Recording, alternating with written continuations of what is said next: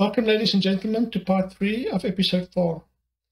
Now, in the last episode, I provided insight into how the police looked for and lifted fingerprints at the crime scene, and how Superintendent Bartholomew used fuming and ninhydrin to expand the search for fingerprints.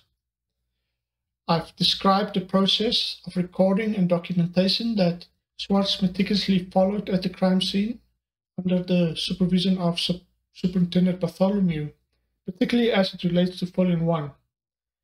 And I've also showed how quickly these sprints will run through the AFIS system and that there were unfortunately no hits.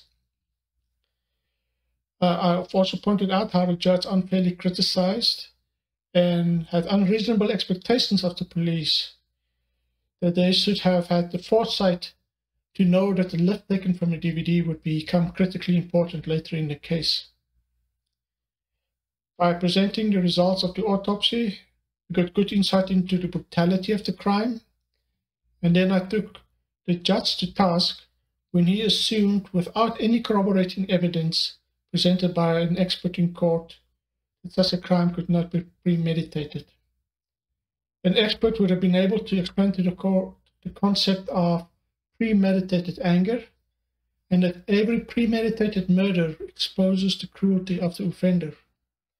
Therefore, the more brutal the murder, the more cruel the offender. But now let's get back to part three.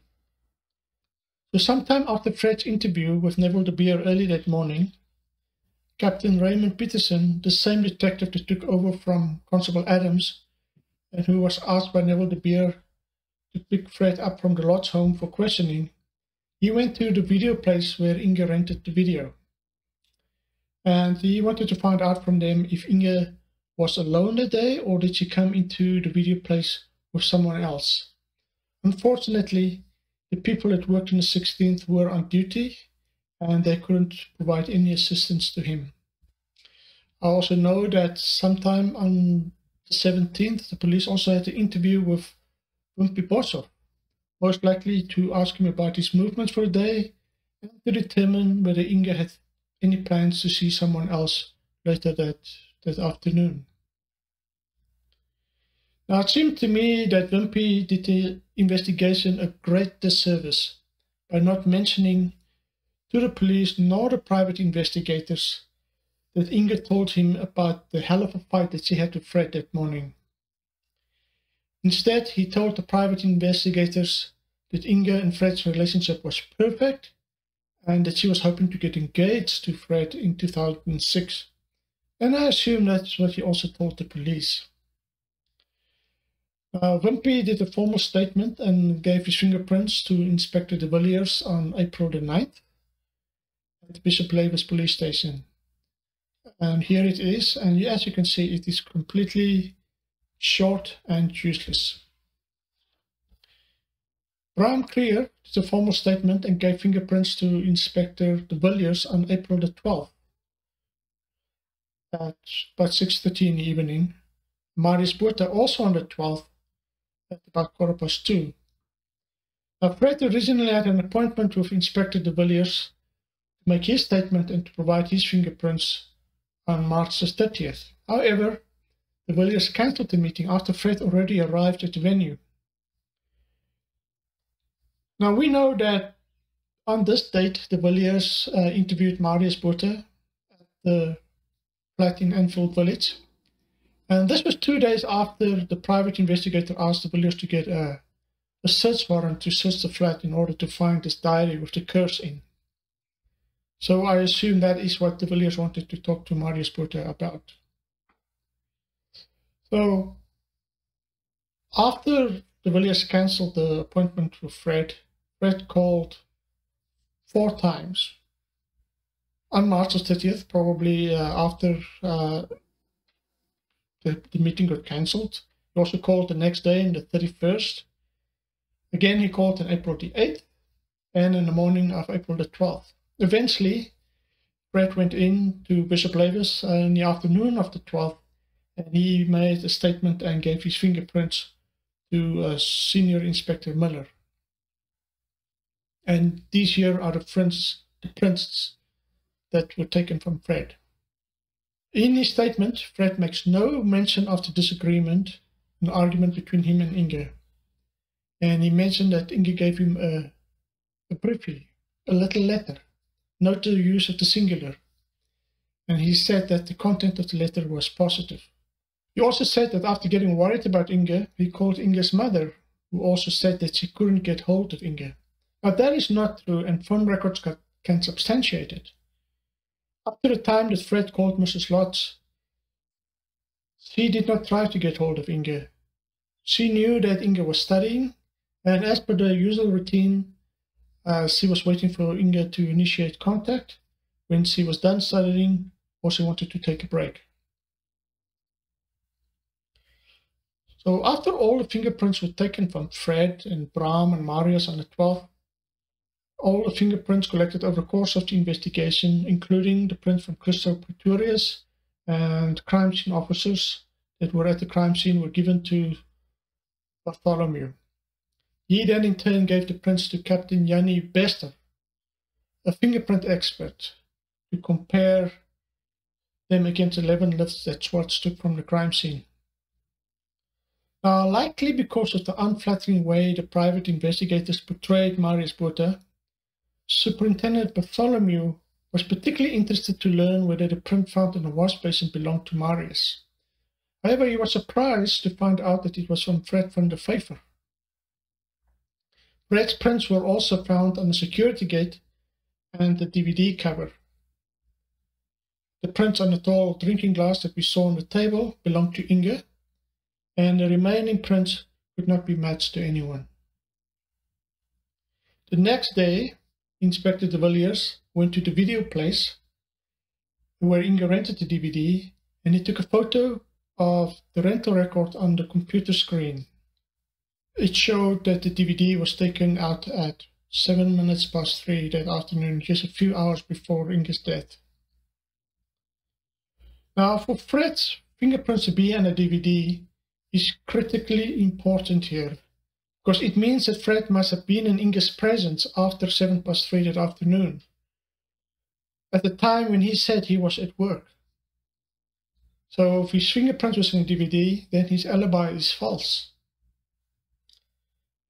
Obviously, this fingerprint was extremely incriminating evidence and enough reason to consider Fred a prime suspect, to issue an arrest warrant, and in my opinion, enough to obtain a conviction. And in the next episode, we will look at how the police proceeded with their investigation after they found his fingerprint and how they collected further evidence against Fred. However, between the initial interview and Fred's statement on the 12th, the police paid Fred little attention, certainly no more attention than other people, like, for example, Marius Botha. Now, it is common knowledge and well established in research that in the vast majority of cases where a woman is murdered, the perpetrator is someone well known to the victim a romantic partner, a husband, a boyfriend, family or friends, colleagues. And when we look at this particular murder, there were no signs of a break in, no signs of burglary or sexual assault, uh, that the person was let into the flat. Uh, when we consider all these things together, the probability that the murder was committed by a very close person to Inge becomes almost certain. And objectively and statistically speaking, if we look at Inge's circle of family and friends, who should the police have considered the prime suspect right from the onset? Obviously, the boyfriend, Fred van der Vyver. I'm not saying that he should have been considered the only suspect. Uh, Marius, previous boyfriends like Bram Krier, and friends like Wimpie uh, were all legitimate suspects and warranted further investigation. However, an investigation must start somewhere, and what better place to start with the prime suspect?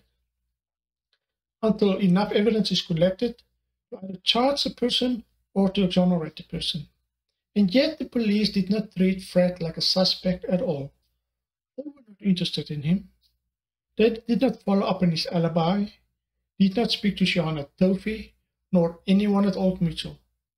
To the best of my knowledge, and I'm not sure about the legality of this, however, but the police did not show a photo of him nor his vehicle around the Shiraz and the surrounding complexes on the 17th to determine if anyone has seen him or his vehicle there the previous day. Nor did they do this with any other potential suspect. The police could have taken a sworn statement and his fingerprints right there that morning of the 17th when they had him at the Bishop Lavis police station. But they didn't, they just let him go and didn't follow up on anything he told them. Also know that the police only obtained his phone records in August 2006, more than a year later. And we know how important phone records are to corroborate movements on any particular day. Does this look like tunnel vision? I don't think so. Now it seems that the police to some extent relied on the private investigators to interview and to investigate Inge's friends, family, etc., in order to identify potential suspects. According to a report compiled by the private investigators dated April the 10th, and which was made available to the police on the 11th, uh, the private investigators conducted interviews with the following people.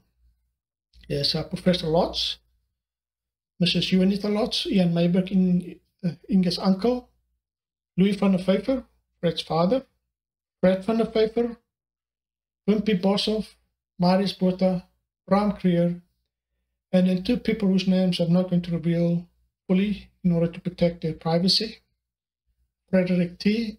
and Johan B. So this report identified the following suspects.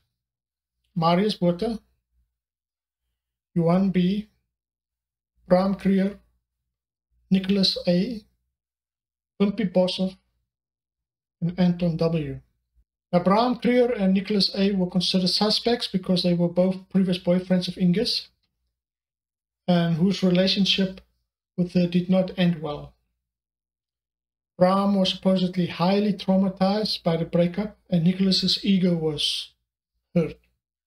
In addition, based on what these investigators have been told, mostly by Fred, they thought that Bram and Nicholas both had unstable personalities and were prone to brutality. Now, ladies and gentlemen, please don't take these assessments as accurate or the truth. No psychological assessments were done. In fact, investigators didn't even interview Nicholas. Now, the other individuals, Johan B., Anton W., they were looked at, and I'm pretty sure that their uh, alibis checked out, and there were no further attention paid to them. Marius Botha was considered a suspect for the following reasons. He had no alibi for what he did between 3.48, when he left Old Mutual after the meeting, and 20 past 6 when Fred arrived back at the flat. Now, it should also be noted that neither are there any evidence whatsoever, like an eyewitness or video footage or cell phone records or any forensic evidence that proves that his alibi is false. They also considered him a suspect because he refused to do a lie detector test and to provide his fingerprints. Now, according to Marius, he did not refuse to do a polygraph test. He indicated that he first wanted to talk to his attorney about it. Now, refusing to do a lie, detecting, a lie detector test is a smart thing to do and should not be held against him in any way. Ladies and gentlemen, never ever agree to do a lie detector test to prove you're innocent, even if you know that you're innocent.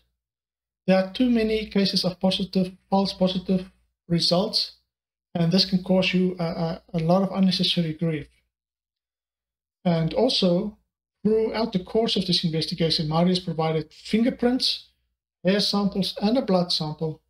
So I'm not sure why these uh, investigators said that uh, Marius refused to provide his fingerprints.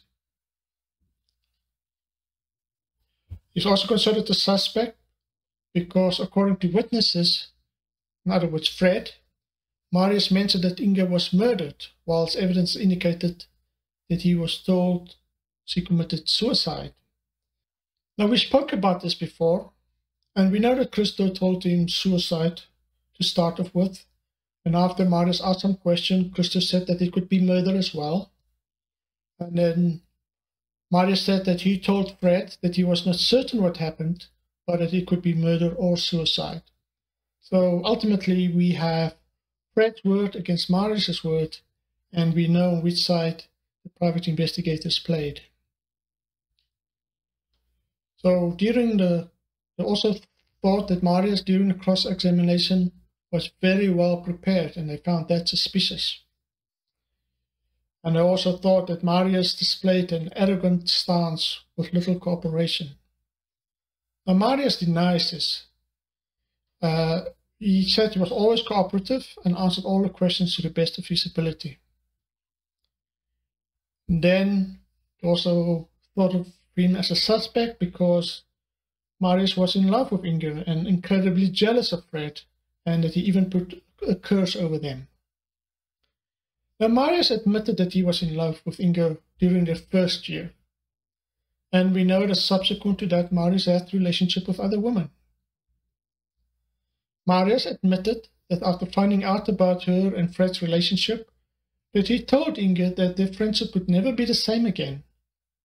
In a later police statement, he clarified that he told Inge that since he was in a serious relationship with Fred, that it would not be appropriate for them to hang out like they did before. And he did this out of respect for Inge and Fred's relationship.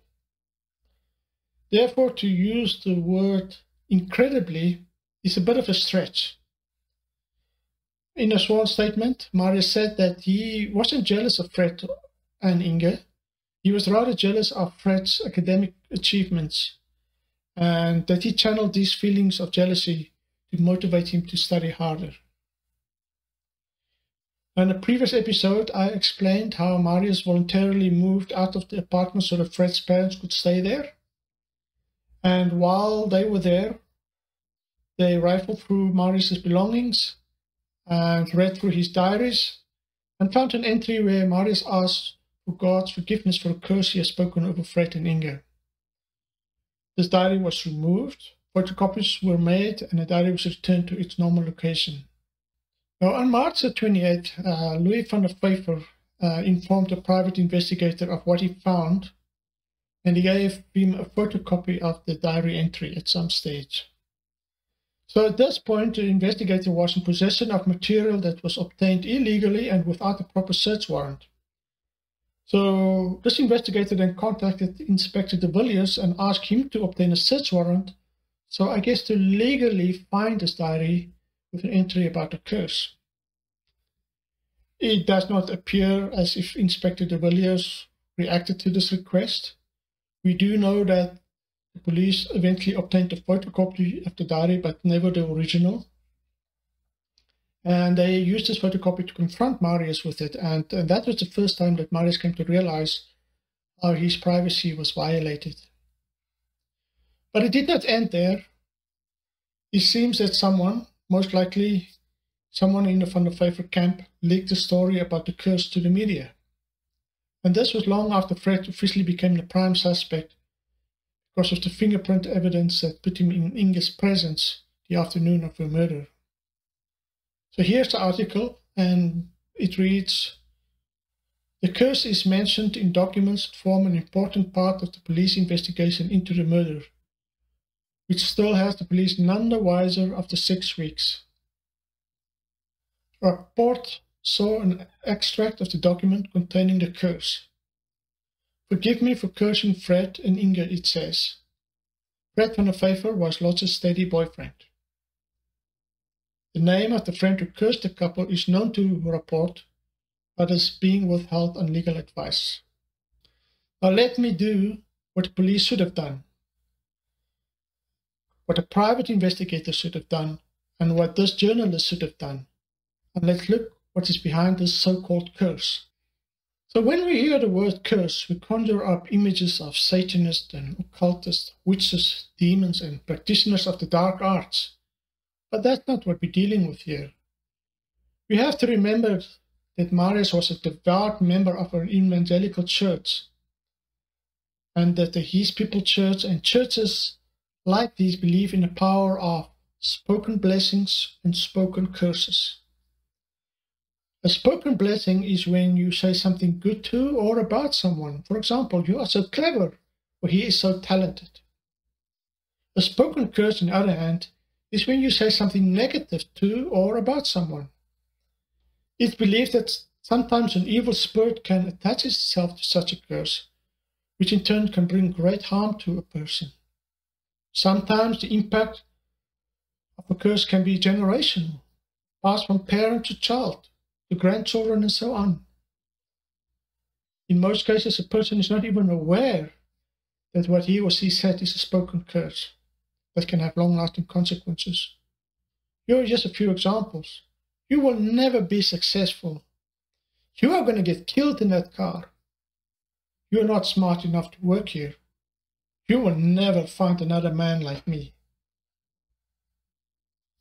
Now, in a statement to the police, uh, Marius provided the following explanation for the curse. So, in early 2005, he attended the Bible or church seminar. During the seminar, there was a discussion about different types of curses. There was a discussion about spoken curses, the power of the tongue, and how one must always be careful of what one say. Marius felt guilty about gossiping about Fred and Inge to his friend Sylvia Strauss. When he questioned as to why they were keeping their relationship a secret from him.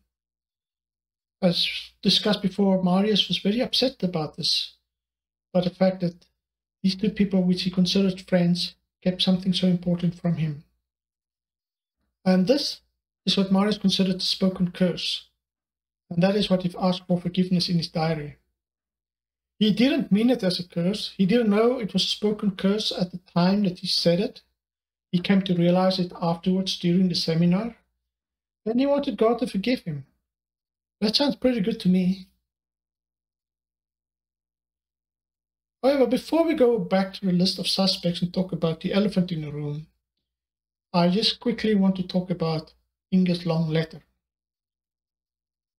We know that on the morning of the 16th, the day after the murder, Inge wrote a two-page letter to Fred, which she gave to him after his class.